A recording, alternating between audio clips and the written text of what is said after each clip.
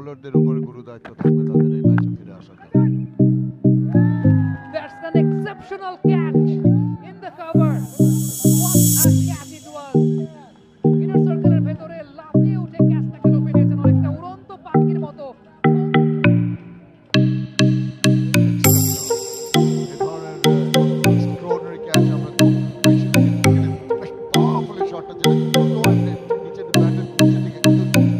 That's boy. Teşekkür.